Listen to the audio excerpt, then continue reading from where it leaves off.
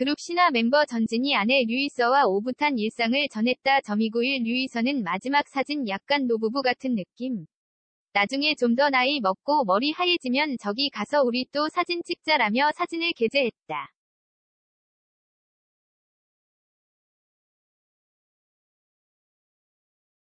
사진 속 전진, 류이서 부부가 반려견들과 함께 눈 쌓인 한 캠핑장을 찾은 모습이 담겨 있다.